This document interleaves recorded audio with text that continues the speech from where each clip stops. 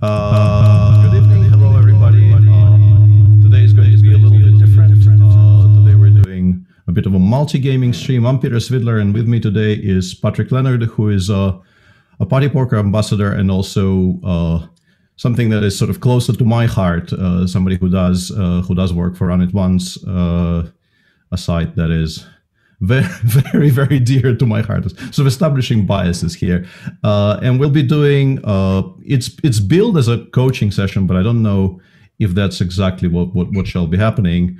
We'll be looking at the two games we'll be playing in a couple of days' time against another very illustrious pair, and sort of trying to plug as as many leaks as we can in in the very very limited time available. Uh, hi, Patrick. Uh, was that uh, was that a fair introduction? Hey, yeah, good to be here. You also didn't mention that I'm a very, very poor chess player, so uh, I think I, that's I, I was, I was, yeah. That's an important caveat to tell the audience to not expect anywhere near expert chess from me. Uh, uh, you, you, you, keep on telling me that, but on, on the evidence I've seen so far, we we did. Uh, I, I reached out to Patrick a few days ago, and we've uh, we've not done any extensive work or anything, but on the evidence I was presented, I I think you're trying to kind of lower the expectations a little bit there to to then you know shock everybody by. But yeah, I let's just drop this line this line of questioning altogether. Uh, so what uh, what the structure of the the event we will be playing in uh, looks like, as we understand it, is uh, we're playing three sets of uh, hand and brain uh, chess, where I will be the brain and you will be making the moves over the board. I think at the same time as heads up sit and goes uh, which should provide for you know hilarity should ensue at some point, I assume. Uh, but uh, at first, let's uh, let's talk about the chess part a little bit. Uh, I think you know once again in the time frame available, we should probably sort of try to establish uh, what you like to do in the opening with the white pieces, with the black pieces, so, so, that I don't kind of corral you into things you don't particularly want to do. Mm-hmm. Uh, and yeah. uh, in terms of general strategy, I think it's very difficult to establish sort of general strategy for only three games to play.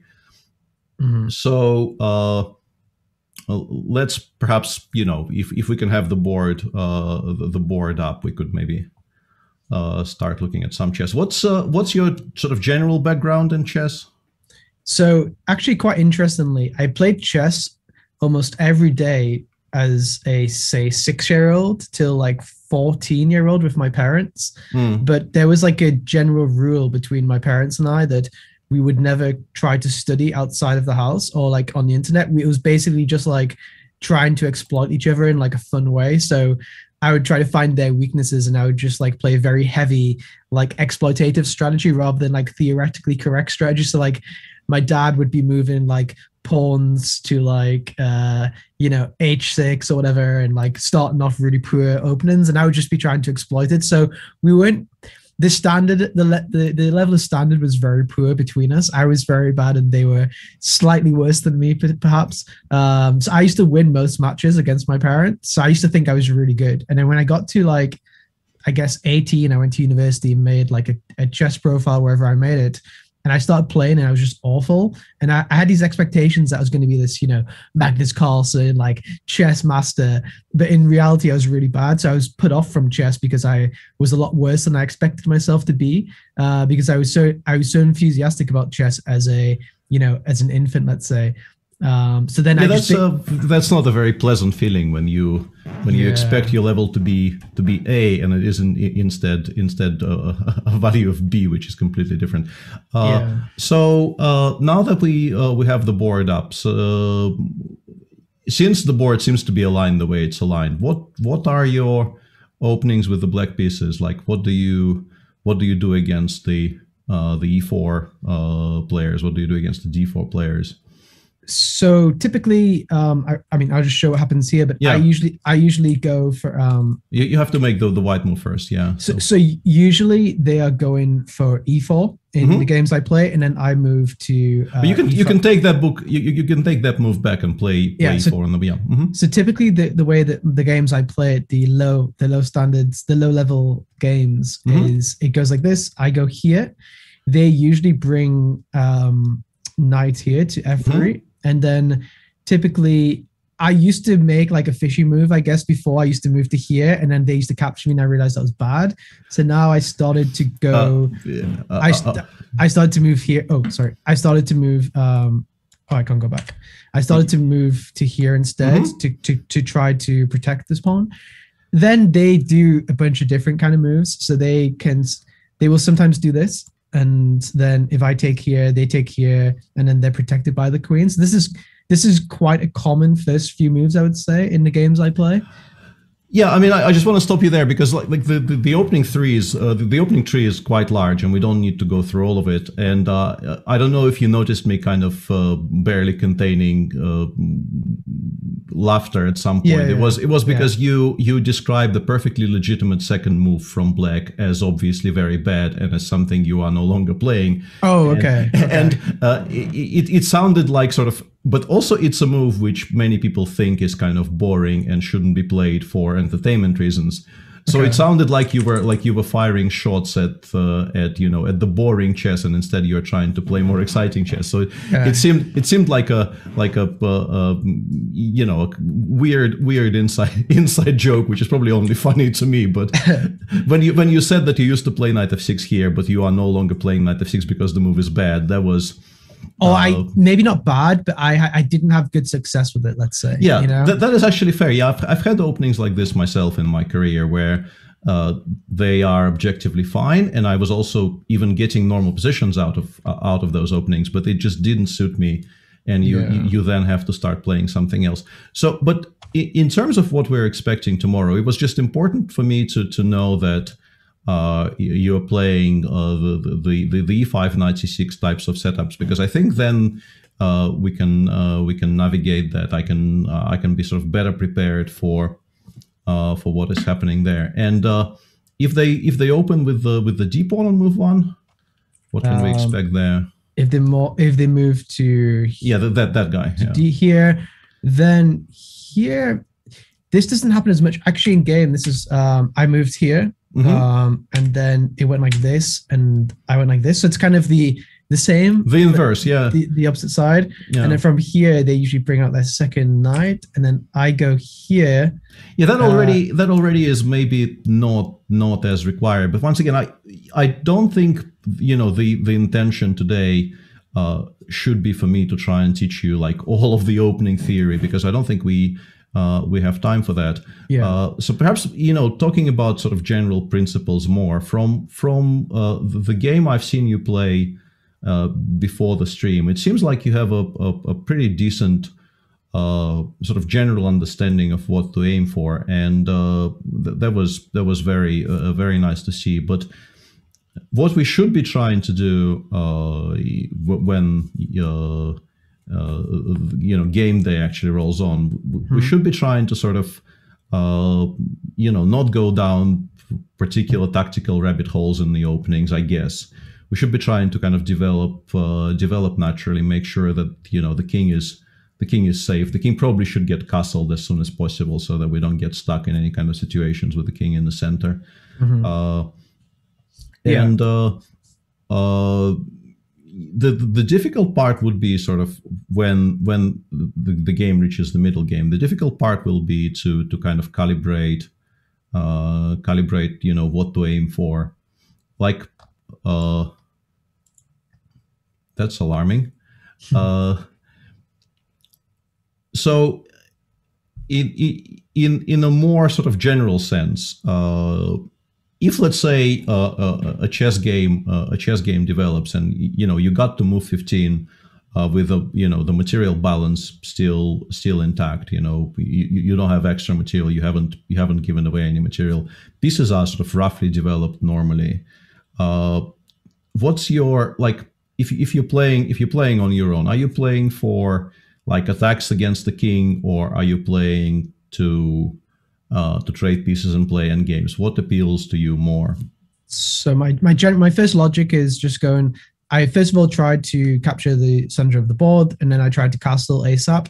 Once I've tried to capture the center of the board, I tried to, uh, I guess, exploitatively against these weaker opponents. I tried to uh, like make a uh, I try to capture on, on a blunder essentially, and then once I capture on a blunder, I then start to try to trade pieces a bit, and then my typical kind of uh, attack is I try to try to get my uh, my knights in around here and around here, trying to get into a way where I can uh, get in get the king into check and then take the castle essentially. Like this kind of looking for a kind of mistake mm-hmm, from my I opponent. understand yeah. Uh, but I guess we're not going to see that from the guys, but that's yeah, how I'm approaching it right now. Yeah, probably, uh, probably that would would need to be toned down a little bit against uh, against Ike and Sasha because we we suspect they will not be as prone to to giving stuff away for free. Mm-hmm. Uh, so this is sort of unfair because I'm supposed to be doing the coaching, but like from from your side, is there is there something that you you, you think needs to be addressed? Uh, in in, in this conversation because like we, we could go through uh, through opening moves. I could definitely like give you an overview of uh, uh, openings we could expect. We could like see what your responses are. That definitely you know is something is something we could spend the next half an hour on. But is yeah. there something is there something that you feel like needs to be discussed, addressed? Uh, yeah, I think I think a big mistake I've seen for myself, or it feels like a mistake, is I I get my queen out a bit too early. So Basically, yeah, that that is something we can definitely mitigate by me never saying the word queen until move. Right? so, like, yeah, that's uh, that should not be uh, that should not be difficult to uh, uh to adjust for. Uh, and yeah. yeah. that is that is a common mistake that you probably need to be uh, need to be avoiding. Yeah, and I, I'd say a big mistake I make is I maybe get a little bit too impatient too early. Like maybe I just start attack. I'm very aggressive. Like in any kind of game I play, I probably go a little bit too aggressive. Maybe I like trade pieces off too early or something like that. Maybe I just show this game was played at like 8:30 a.m. after studying poker for 12 hours last night. So I probably I wasn't in the best frame of mind for playing, but we're probably going to see like some of my uh, logic here being flawed. So I can maybe just show what I would do next because I think I think my first initial openings, like my first three to five moves, are usually like okay, and then maybe like my move 10 to 15 are quite poor. So maybe we can get to like the yeah i mean this ahead. position is extremely unlikely. I, I, think this position probably never never happens uh yeah so maybe we uh, can maybe we can kind of uh, you can use the you can use the arrows be, be below the board. Yeah the, the, the arrows work. So we can ima- let's say let's imagine that they just go this open. So i currently play. Yeah, this, this, is fine. Yeah, this is fine. Uh, this already is a quite a rare move. Uh, I have so to say, it's not that it doesn't exist. So they normally either play uh, the the c pawn to c4, or the other knight uh, comes out. So uh, the, the, the two main moves here are this one and and c4. Yeah. Okay. So uh, this is this. I would probably um keeping the symmetry here is completely fine. Yeah. I would usually have done this. I think. Yeah, that is that is that is uh, uh, absolutely fine. And because yeah, um, and then I would imagine that they usually play. They wouldn't do this. No, maybe. that that loses a pawn. Yeah, yeah, th- maybe do that, this. Uh, here once again, uh, like the two, the two absolutely like ideologically, there are two things that white players do in this position.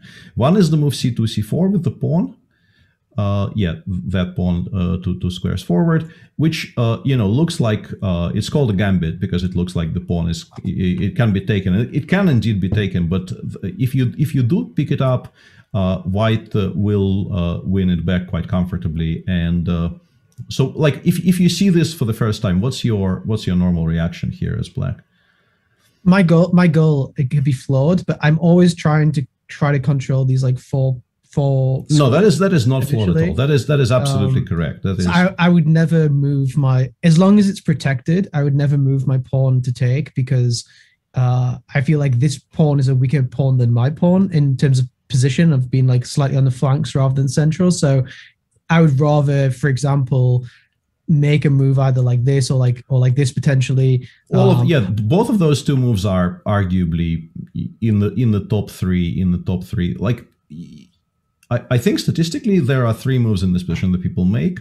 One is actually taking the pawn. There's nothing particularly wrong with taking it. It's just that you have to be uh, prepared that you're not winning it. You're just borrowing it, so to speak. Yeah. And and then the two moves that you mentioned, one is c6 and one is e6, and both of them are completely fine.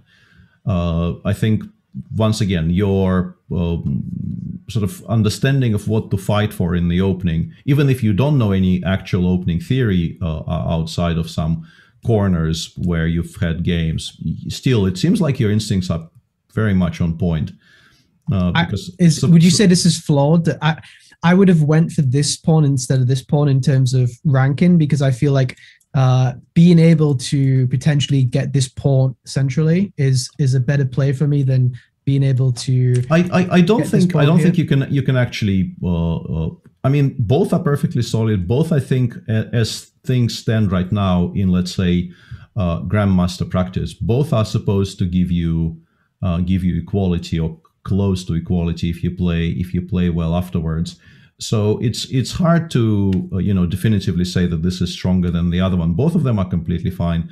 Uh, it's it's slightly. I think if there is a reason to prefer this one to uh, to the move e6 is that your light squared bishop yeah. is not being locked down by your own pawn. So you can in some cases develop it before playing the the other pawn to e6. So that okay. gives you, uh, you, you, know, it gives you slightly more flexibility. It gives you, uh, it gives you more more options later in the game. But mm-hmm. very often you will end up playing e6 anyway later. So I think uh, it's uh, if those are your first two instincts, both are fine and uh, it, and you, you, keep on you keep on saying uh, probably this reasoning is flawed this reasoning is completely fine like if if that's what you've uh, uh, incorporated from your from your childhood uh, games, like the idea of fighting tooth and nail for the center. That's probably the best thing you could have gotten out of your childhood spent mm-hmm. playing chess. I think this is like the healthiest thing. Uh, if you had to choose one thing, it's probably between this and the idea that you need to develop pieces quickly and like get the king get get the king to safety. Those two concepts are arguably the two most important concepts for uh, for uh, mm-hmm. starting players because uh, that that you know gives you healthy positions out of the opening and having healthy positions out of the opening is obviously tremendously important. Something which I I would never I never used to make this move because I always want to get my knight out as soon as possible against weaker players. So I would always avoid. I would basically never play c6 ever as a move. If I ever move my pawn, this pawn in any in any kind of opening, I'd always only move it to c5 because yeah. I wanted to get my bishop out. But this kind of blocks it, right? If I go here, then yeah, it does. But uh, it's it's interesting that you say that because. Uh, you know, we don't need to, or we don't need to look through much of that game that we have open, like the the original one uh, that we opened to have the analysis board. But you did play knight c6 in that game with the mm-hmm. pawn still on c7. So let me see uh, what I yeah. did.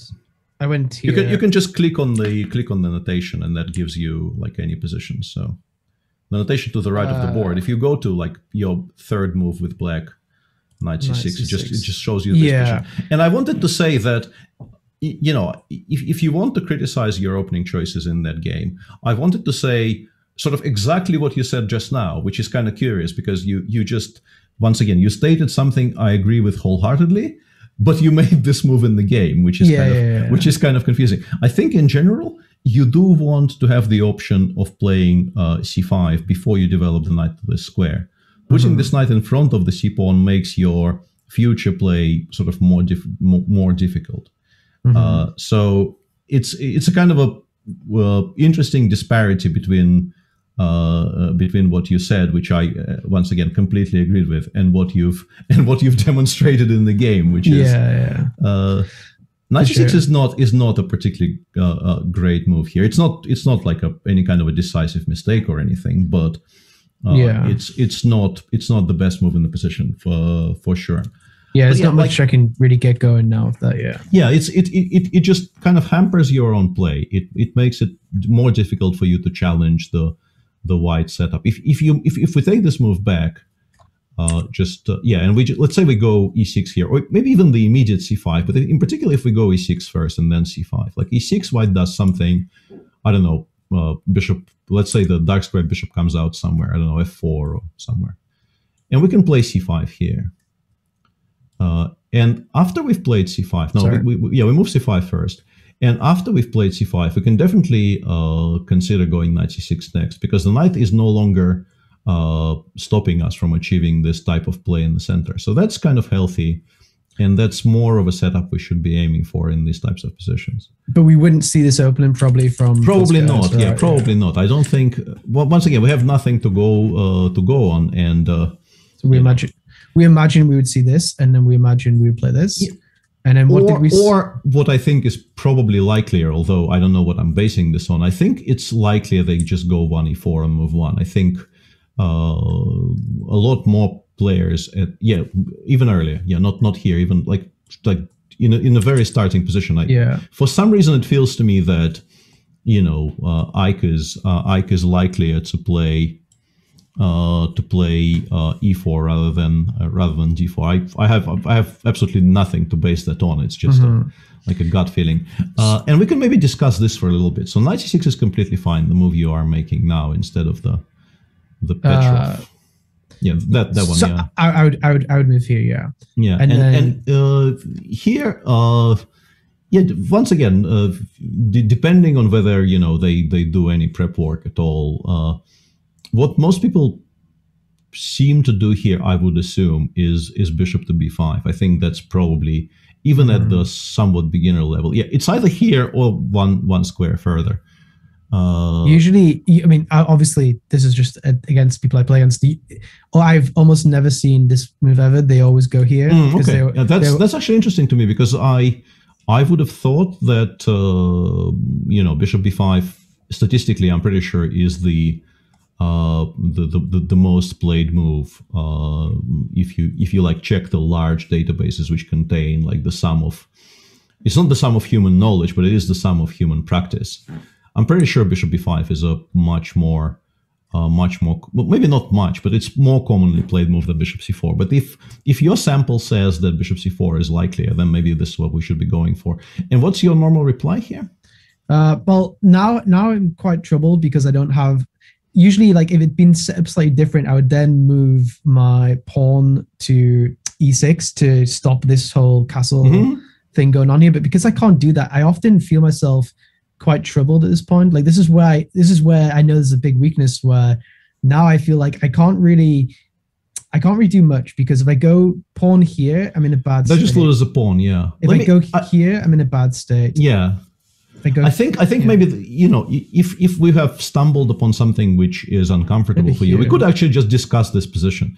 Uh, you, you you can if you want to avoid yeah. Let's not touch uh, let's not touch the f pawn. Uh, it's it's very rarely a good idea to move the f pawn early in the opening. There are you know memes on this topic, but we we don't we don't need to get into the very very specialized subject of chess memes. But if we want I would have stop- went here in game. This is what I would have done. I'm, I'm not saying it's good. I'm just this is what I would have done. Yeah, but to stop this. But the because we like because you are worried about this idea of the knight landing on that square, I just want to show you a way to kind of defang that and not have to worry about it very much. So after bishop c4, if we, if we take this back for a second, we can make a symmetrical move with the bishop. We can move the bishop to c5, our own dark square bishop. Uh, as you can see, for now, the, the square g5 is covered by our, by our queen, right? We, uh, If they go knight g5 here, we can just take the knight. Nothing stops us from taking the knight. Yeah, yeah. Uh, so for now, this is not a threat, but they can play something like d2, d3 here, for instance. And that does establish the threat of knight g5 next move. Yeah, that move, yeah. To no one square. D4 D4 is a gambit. D4 exists as a move, but once yeah. again, I think for them to play D4 in this position, they would need to actually like spend a couple of hours.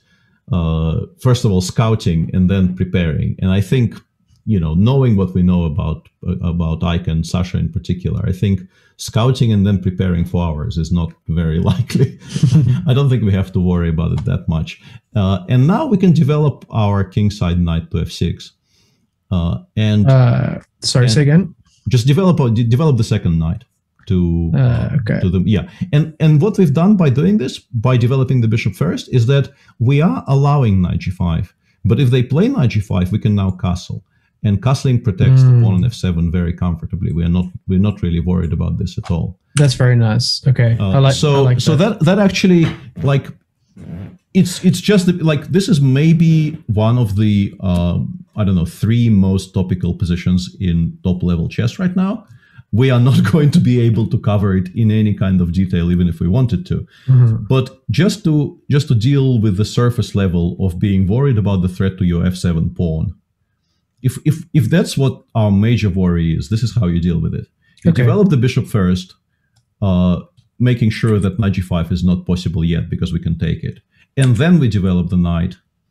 Uh, I mean, your move your move h6 is I mean it's fine on on some level, but it doesn't really do what you yourself stated is your normal aim in the opening, which is fight for the center. Mhm. Yeah, basically making a like a entirely defensive move here, trying Yeah. to trying to stop per- perceived threats, not even real threats right this moment. They are perceived future threats, and we are giving up to a large degree the fight for the center. So yeah. it, it- will probably get punished against good opposition if you play h6 here. h6 is not not a very Why I didn't uh, play Active move. bishop? Why I didn't play hmm? bishop is why I didn't play the bishop is because I think I I'm probably thinking like a few moves behind you are. You know, maybe I'm thinking three or four moves, and you're thinking you know a bit more. So I would normally think if I play bishop, they're gonna go here. Uh, I yeah. We, take. we, we can we can take yeah. They take. Well, we uh, this And this then- actually loses Yeah, us. this. Well, then they can. Yeah. They well they wouldn't take me here, right? Because I have. I would take their queen. So this is actually so- not a bad position for me, I guess. This is a very good position for you. Yeah. Uh, And then, I, then usually in game, what I would do is they would do something like this, and then I usually go here, and then well, I mean, not not leaving the bishop en prise uh, is like moving moving the bishop away is also not a mistake. It is hanging, so why why can't we just move it move it away from? because if they take me, I Yeah. again, I'm just saying like how, I, how yeah, I'm okay. thinking. I would then check him, and then he would have to. I guess he moves here, something like this. Yeah, this is a move you can you can also interpose with uh, either of the bishops. This is not going to be a legal move because your queen. Oh, then my yeah. queen. Okay, so that's that's where the flaw is in that kind of logic. Then that's where that's. But that's also, also, you know, it it's uh, it we we do come back to that that thing you said about you being a very aggressive player because uh, if if we go through that sequence, like if you uh, if you show you, you can in the notation you can click on four d four again, yeah, or or do it manually, yeah. yeah, If they actually for some reason give you this piece, just like once again, not expecting this to happen tomorrow, Yeah. but if if this if this entire sequence happens tomorrow, uh, after after they attack your bishop, you probably should like there's no reason for you to even try to calculate any kind of forced variations. You are at that point up a whole piece for nothing. hmm So just move it back and play normally. Your position is strictly speaking completely winning already. Okay. So like there's no particular reason for you to try and make it tactical and and forcing because your your opponent has committed enough of a mistake to to cost him the game normally if you just don't blunder anything back. Okay. So, would you expect to see castle here from him? Yeah, or- castles is castles is a very normal move. Uh, D3 is a very normal move. C3 is a very normal move. Uh, in in many many cases, they actually kind of all flow into the same position. Like by move six, there is a position here. Let's say they castle, we develop the knight uh, Yeah. to f6 uh, as Yeah. usual. They play d3 because they pretty much always play d3 anyway. We can play either castles or d6 here, for instance. Let's make it simple. Yeah, whichever way you I would I would normally castle. Yeah. Uh, and and and they play, let's say C3 here, uh, And we C3. play and we play I don't know D6. Yeah, I, I wouldn't have ex- I, I wouldn't have expected that. Just I, I don't know that that move, Hmm. so that's interesting. So then I would play d6. Yeah, so- D6, and and this position can be arrived at in like f- five different ways because both our moves and their moves can be basically interposed. Okay. because we're not really interacting with each other. We're both developing our pieces. So uh, the last three moves for us and the last three moves for them can be made in, in almost any order leading to this position. And then, you know, this is a very complicated position. We can talk about uh, about plans here, but once again, we we have no real expectation. This is what we will see. So I don't think Yeah. going down that particular rabbit hole is uh, is very useful. Yeah. Okay. I mean, at this point, I would always be like quite flustered. Like I feel, I feel from my, you know, again, I, I, I, I say it a lot because I, I do think it's true. From my very uh, flawed logic, once I get to this point, if I don't really see a plan of attack, because Mhm. I, I like to be aggressive, I'm Mhm. like, I'm like, I get flustered. I'm like, okay, like I don't, I'm, I'm not, I don't have like a, a clear plan of how I'm going to win the game. And when I don't have that clear plan, I then just start like, but I'm not sure it's a term in chess, but like button clicking. Uh, Yeah, yeah, I, I, I, I've played enough other games that, uh, yeah, I, I, I know what you mean. Uh, what you mean when you refer to to, to button clicking. and I, then sure. I then I just blunder, you know. So I think my first like ten moves, I, I usually play okay, but then maybe I'll just do something like ridiculous, like I don't know, just something like G five, so just something silly, you know, and then I get captured or whatever because I just seem like I think at this point I usually make a kind of mistake. So a good thing to prepare for would be when the board is quite like locked and symmetrical, Mhm. what to kind of have as a logic. Because like let's just say you said pawn to me now. Like Yeah, I would I'd uh, like, oh, I'd like, well, which in one? this you know? in- like if, if we talk about this opening and this opening really isn't that unlikely one thing uh, we should maybe be looking out for is that move knight g5 that we discussed earlier is not really a threat once we've castled but the move bishop g5 the bishop the dark squared bishop to the same square can be quite annoying uh, from white uh, like if you if you make it on the board right now bishop c, c1 to g5 uh, The- yeah, the dark- yeah. here. yeah, Yeah. that that move is quite annoying because uh, it pins it pins our uh, our bishop our knight on f6 it pins it to the queen uh, and uh, makes our development kind of tricky so you, you could actually once you have and and this will sound kind of hypocritical and uh, you, you probably will get upset at me but i will mention that once we've sort of half finished development the move you mentioned way way back on move 3 does become very useful. Yeah playing h6 before they played this bishop g5 move is really not stupid at all because we don't really want to be dealing with this pin. Yeah, that that's why that that was the reason why I moved it because I thought it blocks both of the advances the knight I get to take, but also it blocks the advancement of the bishop as well. So I thought it's like a, it, it's it's a solid idea in general, but you do need to kind of make them not get too much in the center first. Because if we go back, like just to, to illustrate why I'm saying what I'm saying, if we go back to if you go to the notation, there is a you know, bishop c4 h6. Uh, two, two Uh, lines above. Yeah, if you just click on h6 there, you'll you'll get that position. h6. Okay. Yeah. So here, white already can play, uh, let's say d2, d4.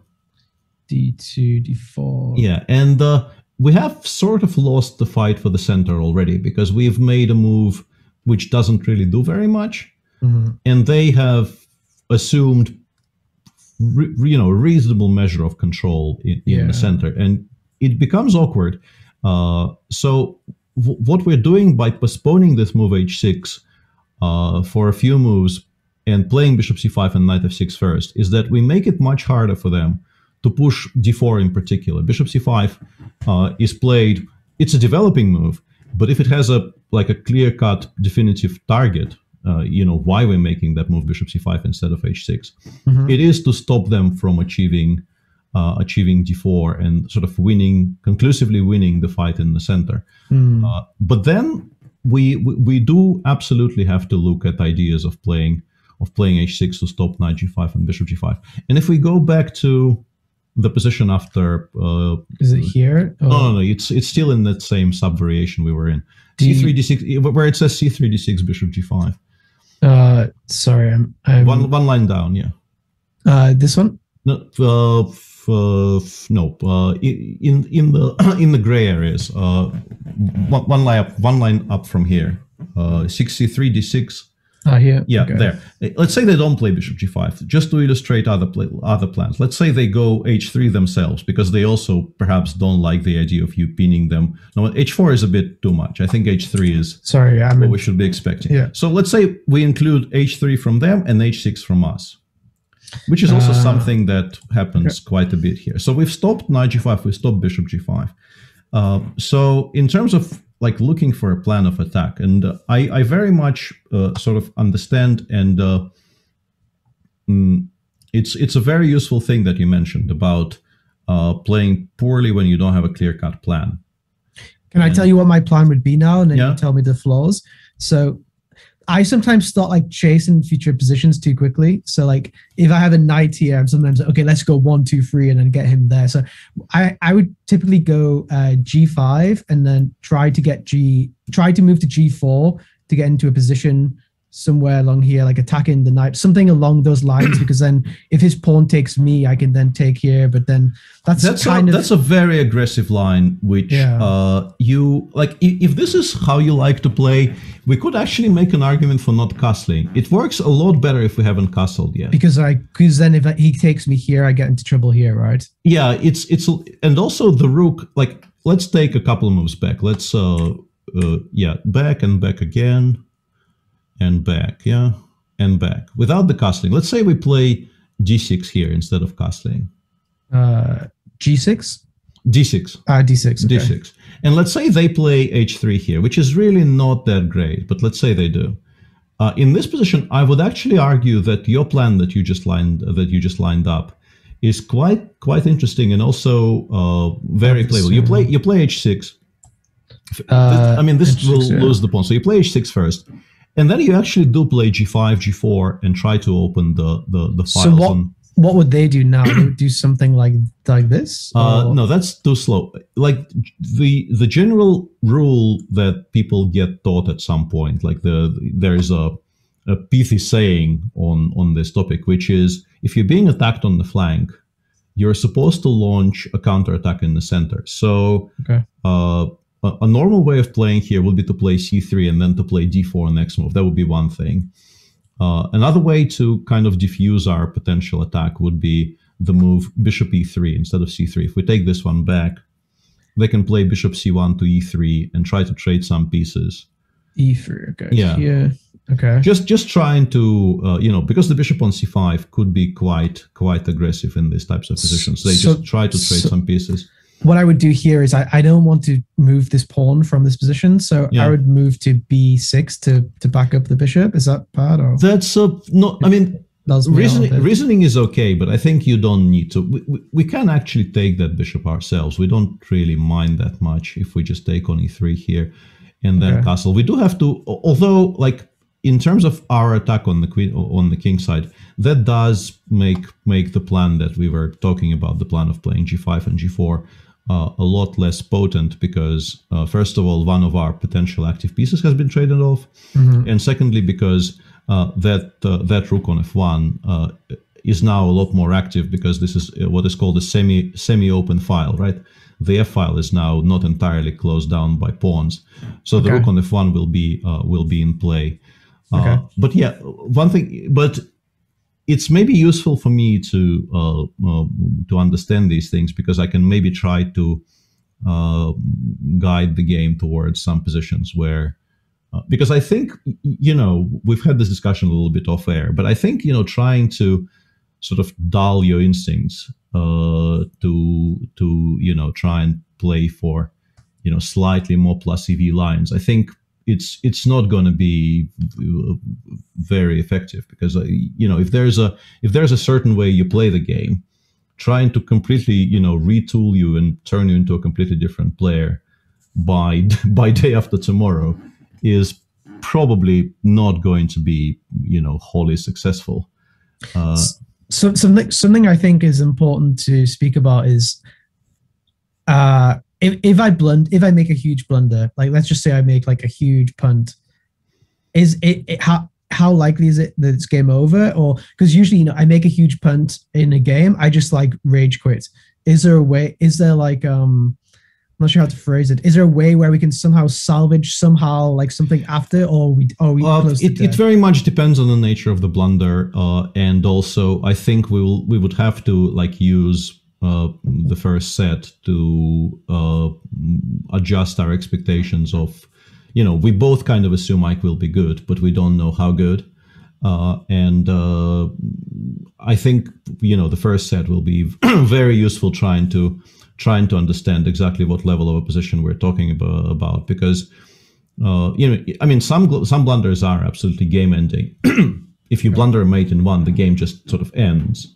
Okay. But if let's say you blunder a piece, I would resign that position against Alexander himself, right? But we're not playing against Alexander himself. We're playing against Ike. Maybe he will return the favor at some point later in the uh, later in the game. So we're definitely not not resigning, at least in the first game, until we have watched them, you know, convert a good position into a full point Yeah. Or or not convert, as the case may be, because you know people definitely return those favors in game, in particular when when there's multi gaming going on, which is uh, that is a big that is a big thing right that, that that's yeah. also why i mentioned it there's a higher chance that i blunder because we have like yeah. a poker game going on the side absolutely too, yeah I'm, I'm so. probably i'm probably the only the only one of us four who has actually done multi-gaming uh, yeah, of that sort before and that's probably why i'm not a winning poker player or at least yeah. one of the reasons because i you know having having things on the side when you play like six tables of mistakes is not probably the the wisest idea in the world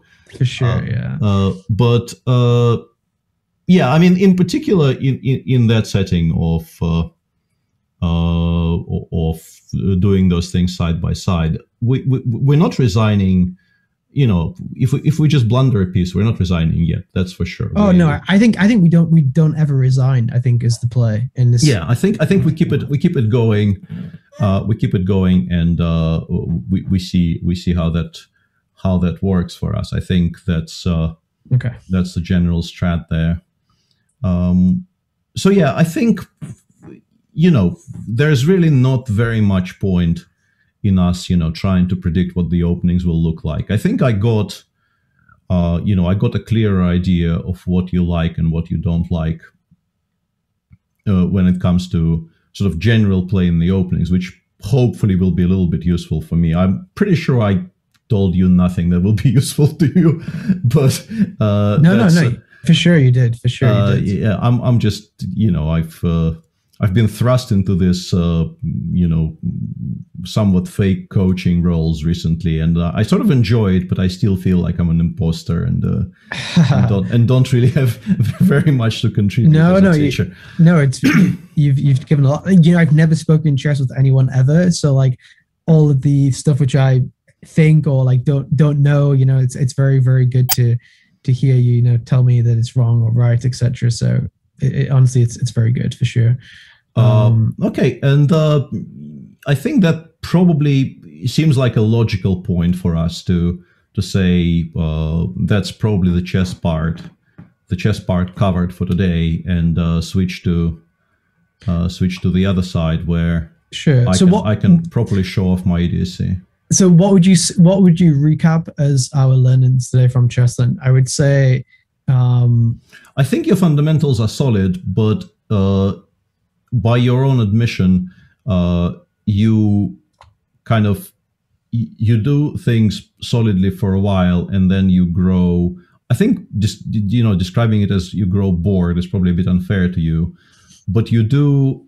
Uh, you know, it kind of wears off into into the unsolid territory quite quite quickly because um, I would say panic. I, I panic that I'm not going to win the game. You know, every game I go into, I'm like, okay, I have to win this game. I have to win this game. I need to get better at chess. I need to get a better rating. Then I get into a mode where I feel like I'm not going to win, and I panic. I'm like, oh god, I need to do something. That's how I feel like I. Yeah, I, I, I sort of recognize recognize that feeling, and uh, uh, yeah, perhaps you, you know, I I don't know how I can you know inspire you to panic less, but.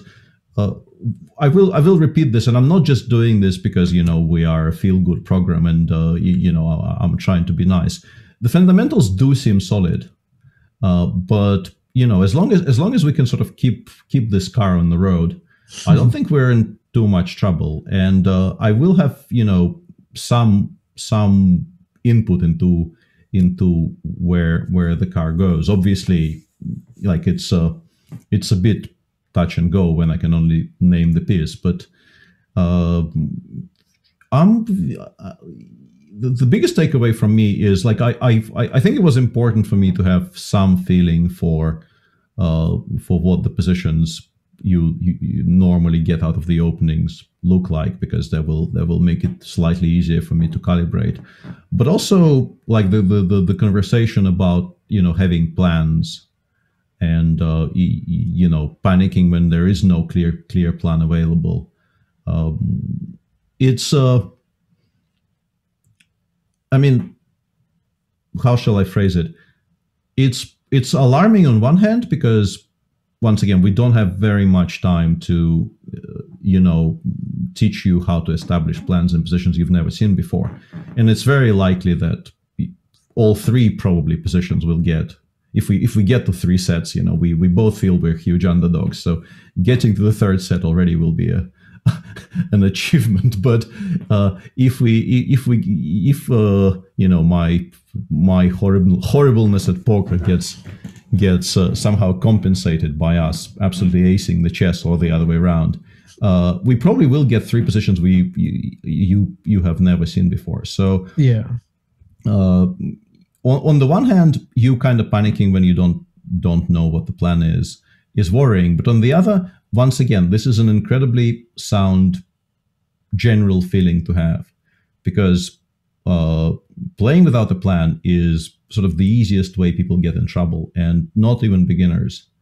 Uh, it's it's one of the things that that uh, gets drummed into you very. Early. I mean, maybe not very early on, but it's one of the absolute like cornerstones of uh, of what you get taught at some point. That you know the once again the saying, which is as all sayings go, they you know it's probably not entirely correct, but they say you know playing having a bad plan is much better than having no plan at all. Uh, and and hearing you say those things already without me needing to tell you that mm. is is sort of you know gratifying and and you know making me feel optimistic that's good that's good for sure uh yeah okay so I guess let's let's segue on to the poker then. Uh, yeah, sure. So let's have a look. I'm going to give the guys a second to be able to pull this stuff up. Um, we'll let them do it.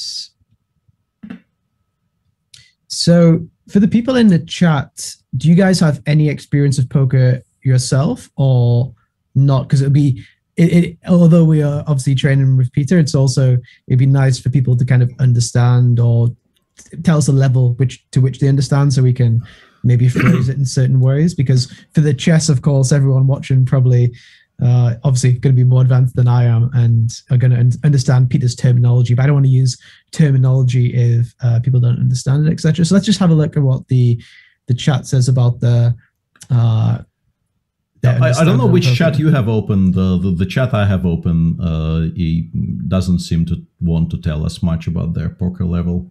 Just twenty four. Uh, I have you have yeah. the, the, the, the, the stream the, open, yeah. The, the the on-site stream open because I yeah.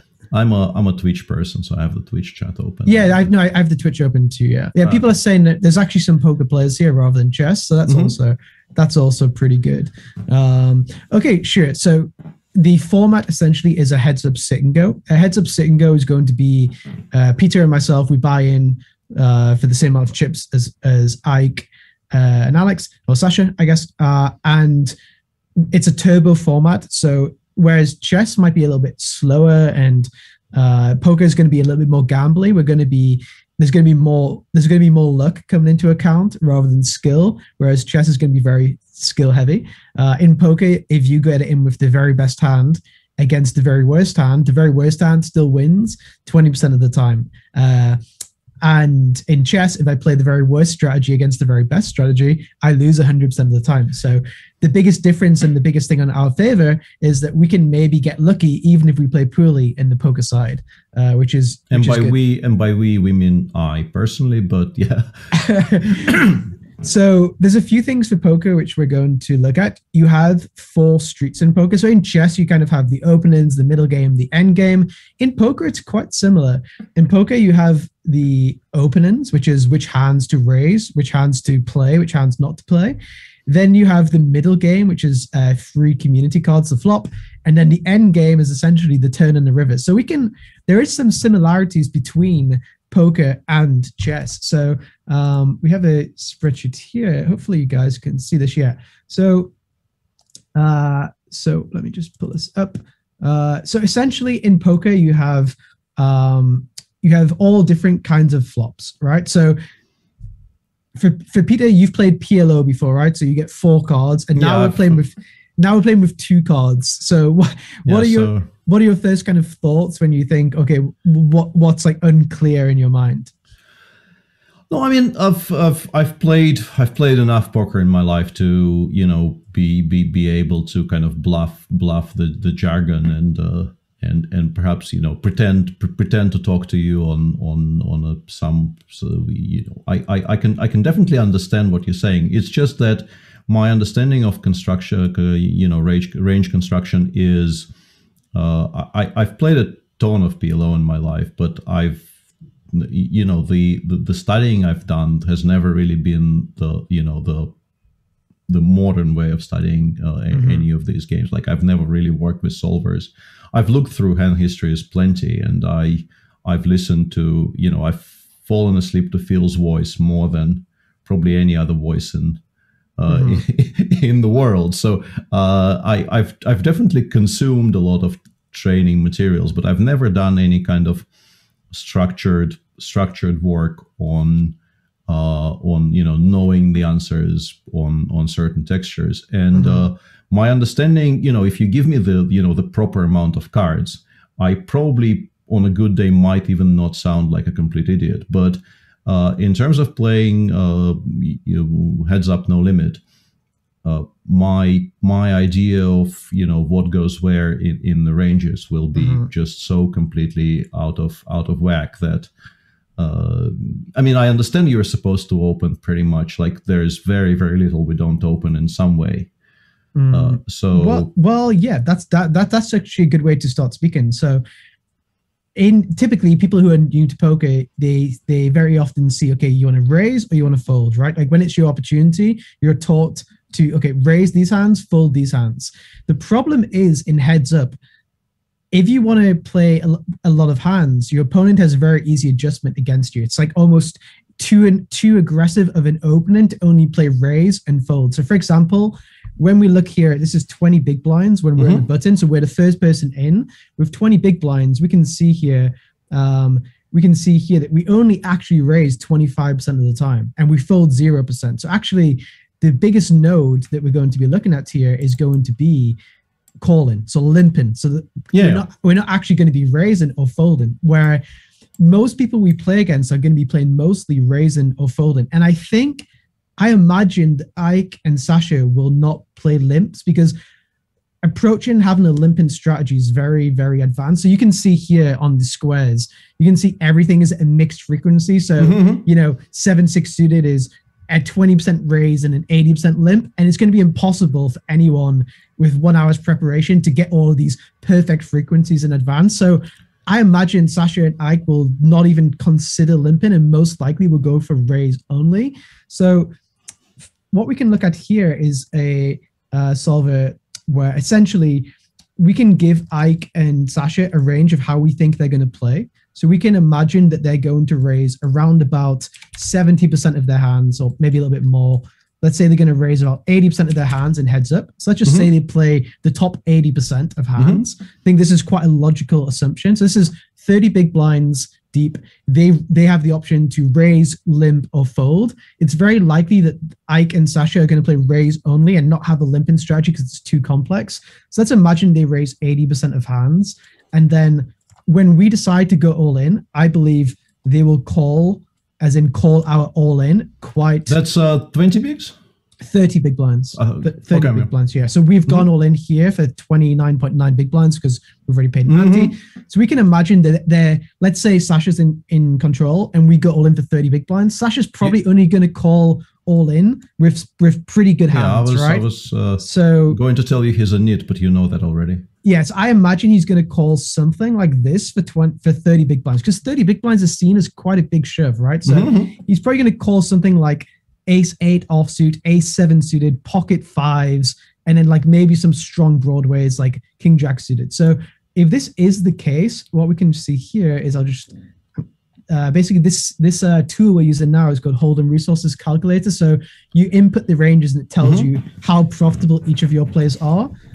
So against this, you can see that if we have the very worst hand in poker through two offsuit, it, we have a very clear all in. So if our opponent doesn't play limps, we have a very clear all in. Now let's imagine that instead of playing only raises from the button, they decide to play a very uh, they they they decide to play a very heavy limp strategy like they should be playing in terms of theory. Mm-hmm. Let's just give every hand. Uh, let's just give every hand here uh, 25% frequency. So these hands previously were 100% frequency, which is what we expect them to play. Mm-hmm. But in, in reality, they should probably be limping 75% of the time with most combinations of hands and only raising 25%. Now, if they only raise 25% of the time here, uh, we can see how wide we should be shoving. Now, uh, yeah, they would call wider here. So you can see, uh, let's just go down for here. So when this is the case and we shove over their we shove over their jar over their raise, we can see here that uh sorry, we can see here that versus raise, we can only shove uh, twos through to eights, you know, like strong ace X hands. These are probably very intuitive jams. This is how I would imagine you would play normally. You would probably only shove the pairs, the ace X, like the good hands for 30 big Yeah, that, right? that actually is something we like. I, I think before we go into the construction of these ranges, I like once again keeping in mind I don't play the the the, the, the godforsaken two card game at all if I have a choice. Yeah. Uh, so are we like at what point we aren't really looking to play post in the big blind. We're just not looking to play post at all, starting from like 30 bigs, or it has to go down lower. So, so we are very happy to like all of these hands in green are all hands which are happy to call off 30 big blinds. Uh, if you look here at 10 big blinds, for example, versus a raise, we would fold only 18% of the time. So we're basically never, we're very rarely folding versus a raise because we get such good odds to call. But the main the main point is is that it's a lot easier for you to make decisions when you are the initial raiser with the initiative. So you're the guy who's telling the story. let me let me let me rephrase it. I, I think i didn't really make myself you know uh, i didn't really make my point clear my point was uh, uh like there's there's no actual three bet is there? Like at, th- 30 bigs i would ah. expect i would expect to have three bets. Why are we jamming 30 bigs there so at 30 big blinds versus a raise, we actually do have a lot of a lot of raises. So you can see here at 30 big blinds, we are free betting with say hands like eights, nines, tens, jacks, the strong hands. But there's lots of hands which wants to just take its equity. So if you take a hand like pocket twos, right? Mm-hmm. If our opponent is raising so much, with pocket twos, we definitely want to go all in because first of all, if we re-raise, we get them to uh, to see a flop, and pocket twos is going to play very poorly. There's always going to be free overcards, right? So there's lots of hands which definitely there's like a, in poker, there's always categories of hands, right? So you have categories of hands which want to for, to realize all of its equity. So a hand like Ace Nine offsuit against all of Sasha's and all of Ike's hands, Ace Nine is doing really well. We have really good equity against the hand, so we want to, so we want to realize all of that equity. But if we have a hand like Pocket Queens, uh, obviously we we don't mind if Sasha and uh, Ike come along with a hand, let's say like seven eight suited, because Pocket Queens is going to be dominating it. But with Ace Nine, we don't really want to give them the chance to see a flop with seven eight. So it's always important to categorize hands as hands which want to realize all of their equity as soon as possible or hands which want which don't mind to allow Sasha and Ike to improve some equity of their hand.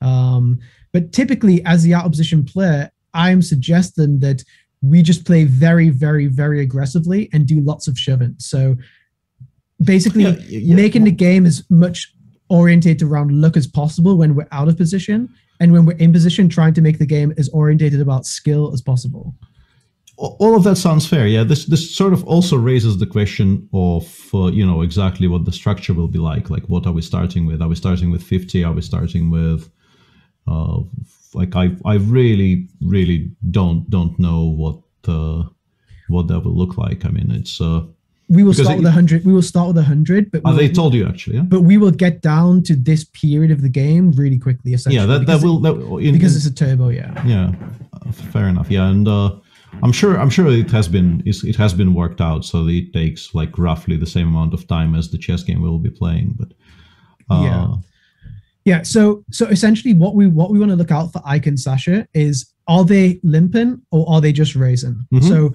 basically, if we see the first three hands that we only see raises from mm-hmm. Ike and Sasha, on the fourth, fifth, sixth, seventh hand, whatever, we're just going to shove on them any two cards, essentially. Like that would be the play because even first level? Uh, no, once we get to this, yeah, yeah. once we get yeah. to this forty big blind period. Mm-hmm. So, uh, so this is this is one of the most important things for us is to establish their game plan, right? Like in chess, in chess, it's like, okay, are they going to play a gambit? Are you going to play this? There's so many different things they can do. In poker, there's two strategies. Either one, they're going to have limps, or two, they're not going to have limps. And if they are not going to have limps, which is what we can expect, we just have a very, very easy uh, readjustment against them just to play super aggressively and keep shoving on them until they start to limp. And I assume they're not going to study playing with limps. And if they don't study playing with limps, that's straight away going to throw Sasha out of his comfort zone because he's going to be thinking, well, what do we do? These guys just keep going all in on us. Like, do we start changing our strategy? Do we start limping? I assume that they're not going.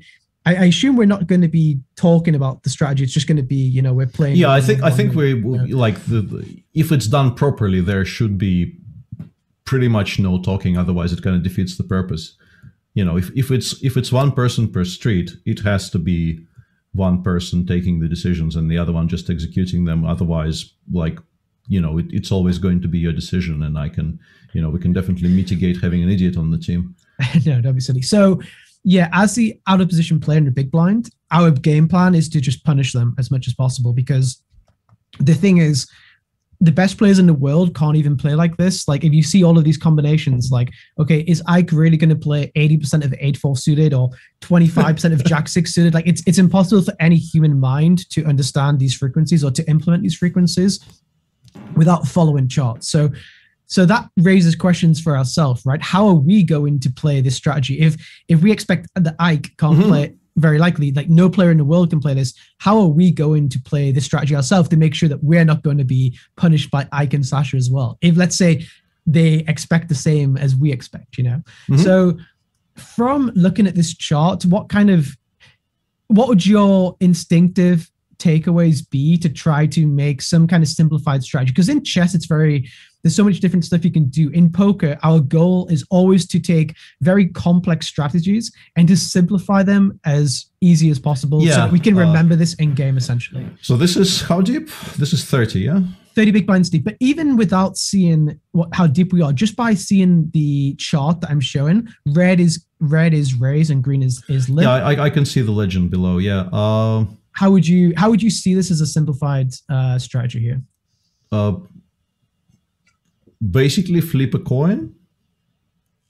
Okay, that's that's one way. Uh, uh, with the you know with the exception of the you know the very strong hands and the very weak hands for mm. you know anything middling and middling appears to include some pretty strong strong hands as well or at least you know coordinated and suited hands which are mm-hmm. obviously extremely attractive mm-hmm. uh, uh, you just I don't know. Obviously, you know, you can use randomizers, whatever, you know, a chosen randomizer will be on the day, or you could just, uh, and probably using randomizers instead of like raising one hand and limping the next, so, because that actually gives them a much clearer, a much clearer and much earlier idea of what we're doing. If we mm-hmm. just, if we just like preset it as, as, one raise, one limp, one raise, one limp, they will probably recognize what's happening quite early on. So, uh, using some sort of a randomizer and uh, but splitting them looks like pretty much half half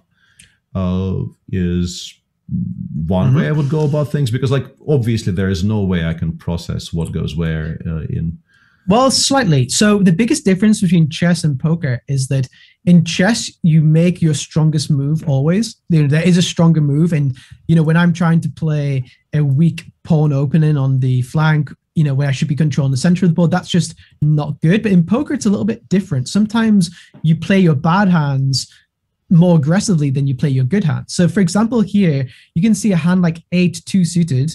This raises 100%, but eight six suited raises 20%. And for anyone with any uh, form of brain, it's very easy to assume that eight six suited is a better hand than eight two suited. So why are we playing eight two instead of eight six? So what what's just the uh, straight away intuitive thing in your mind for why we would play 8-2 and not 8-6 so aggressively?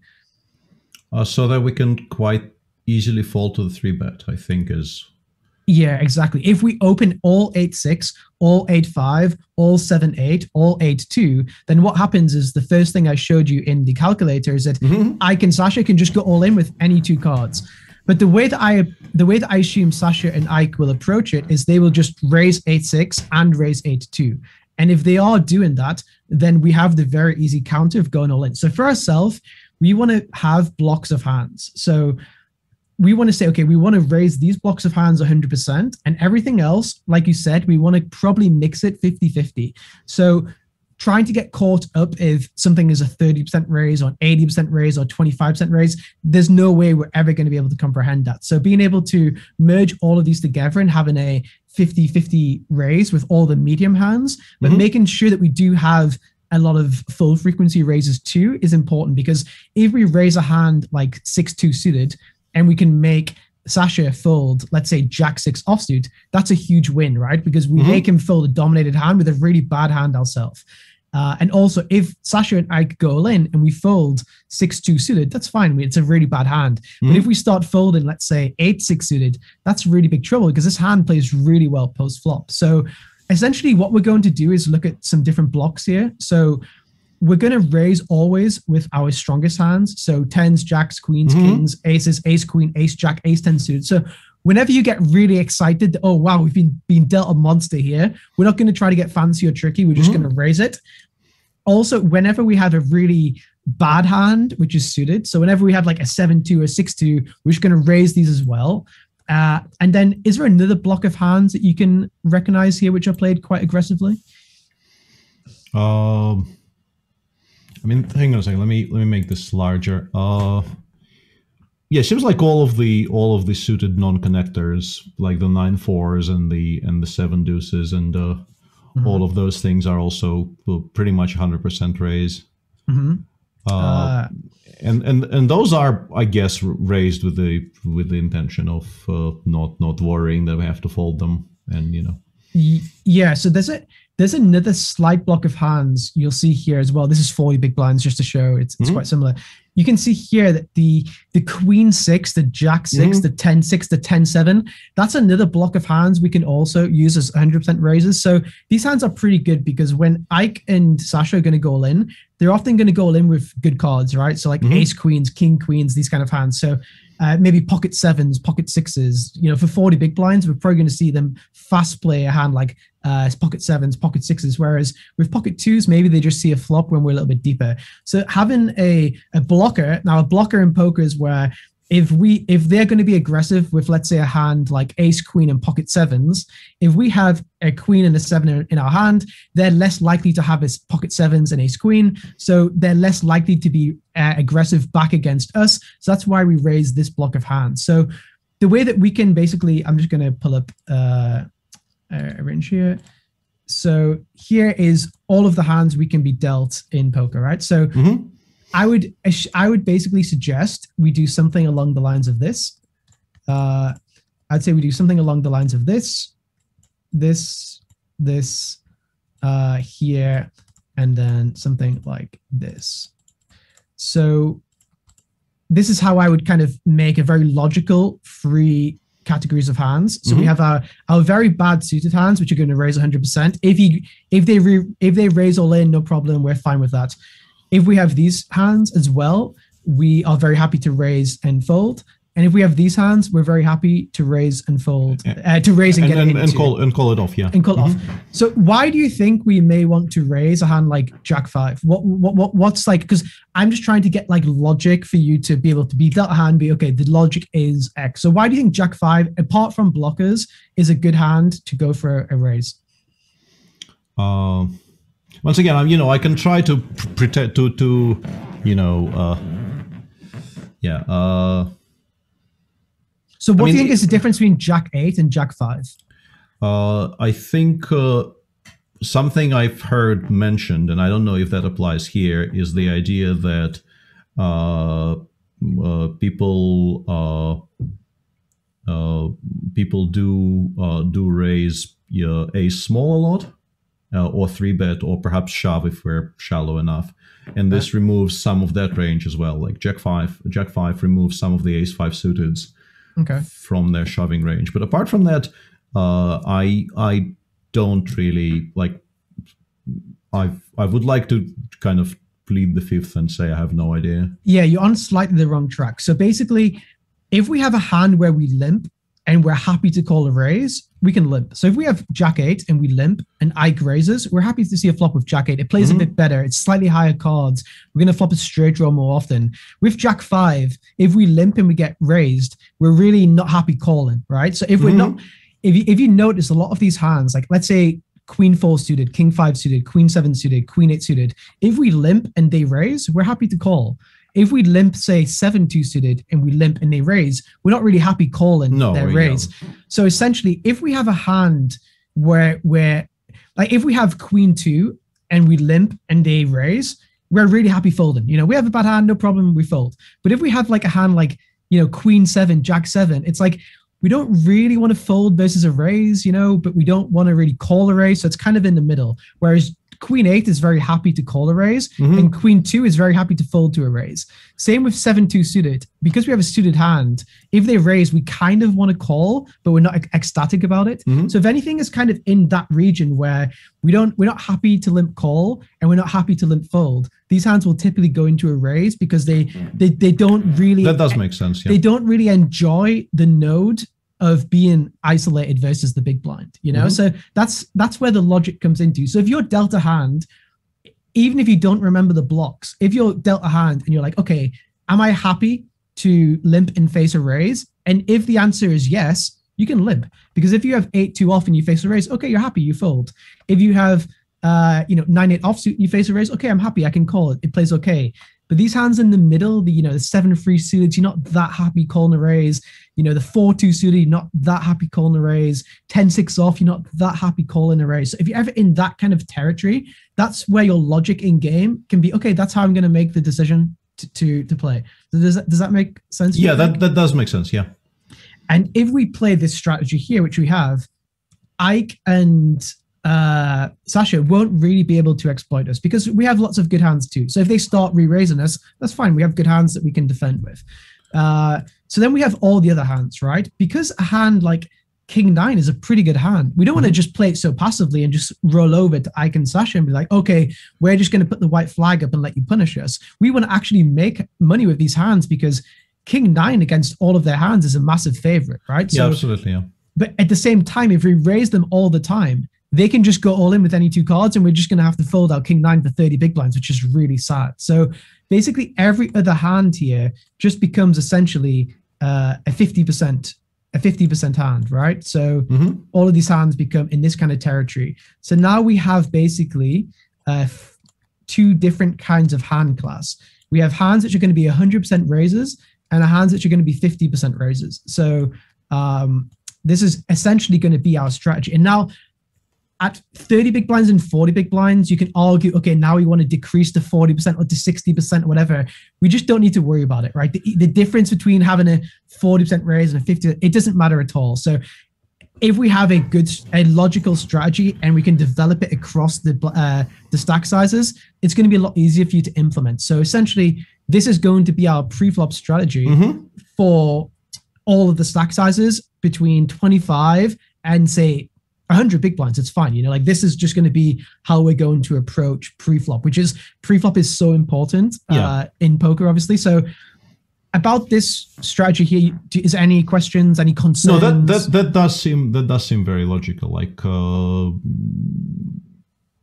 no i don't honestly i don't think i have as an opening strategy that this works for me. This i think is something i can implement. The i've you know i've never actually sort of practiced randomizing frequencies, but I'm sure you know this can be this can yeah. be worked out.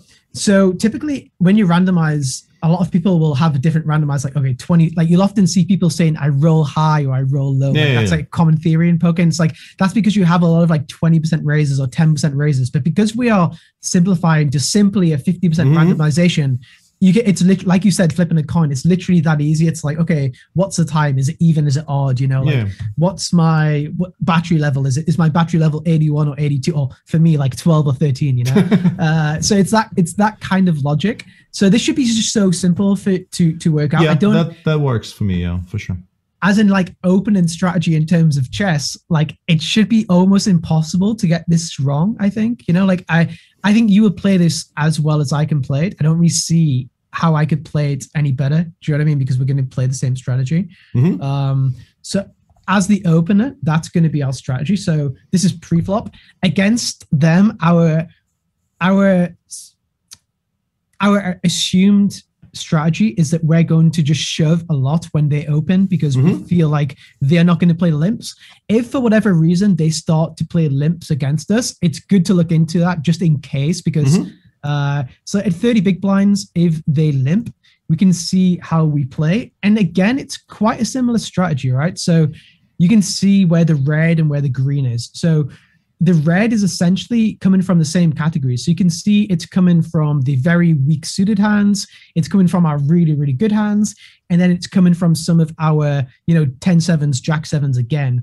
Uh, whereas if you look at a hand like King Six, it's never raising. Queen Eight, it's mm-hmm. uh, King Six suited, never raising. Yeah, we're, yeah, we're, we're happy. We're happy to realize equity with uh, with with decent hands, but I, as I can see from this graph, we we're only really shoving, like we're shoving somewhat less than premium aces and suited garbage, pretty much, and small pairs.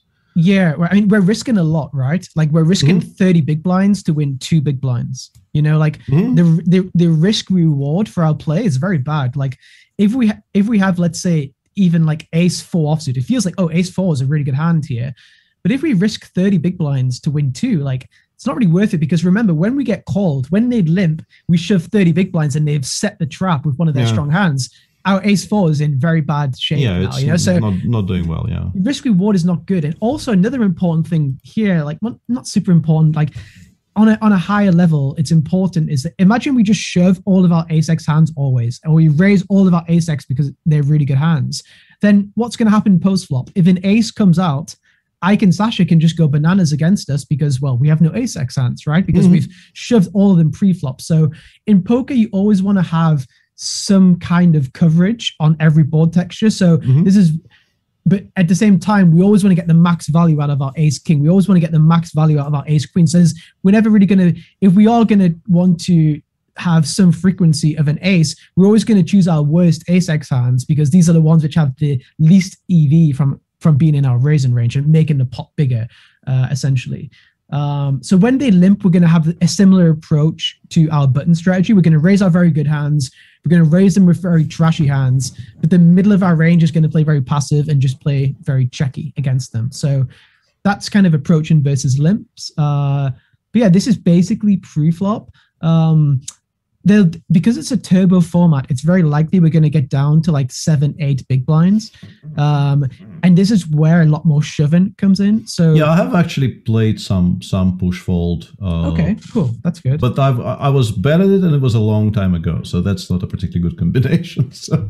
So one of the biggest mistakes people make is calling too tight versus versus shoves. So if we go this is eight big blinds. So for eight big blinds our opponent shoves all in, you can see how wide we're supposed to call for eight big blinds. So a hand like queen two, a hand like nine seven, a hand like jack six, a hand like queen six offsuit, a hand like 10 nine offsuit. You can see here we have to gamble very wide against their shoves mm-hmm. because we just have good equity against them. And if we start folding too much, we just make their shoves so profitable. Like they're they're shoving hands like 10 free suited, six free suited, queen five offsuit, queen two offsuit, eight six offsuit, you know? So because they're shoving so wide, uh, we have to gamble wide. But I imagine that Sasha will probably call too tight versus our shoves. So if he is controlling pre-flop, what I think the adjustment is is to go bananas and really shove a lot uh, against him. Yeah, once again, without like, how how safe are you in that assumption? Well, it's very unintuitive, right? So what I'm in in head no, but like knowing what we sort of know about about Sasha as a player, I think that is not a particularly safe assumption because he will actually know the answer there.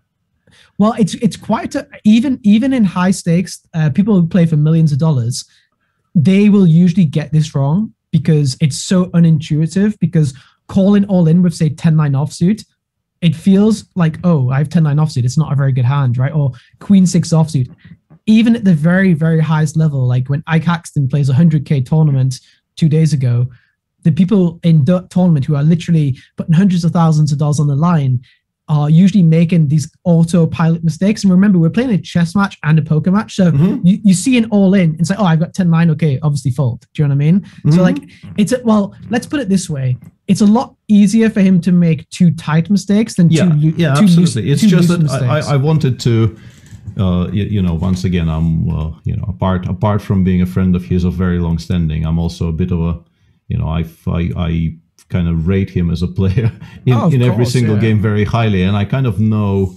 I know his background, and uh, you, you, also sort of know his background there, of without course, going yeah. into detail. Yeah uh, if he is not too distracted by what's happening on the chessboard, he, you know, he, you might expect reasonably constructed ranges there.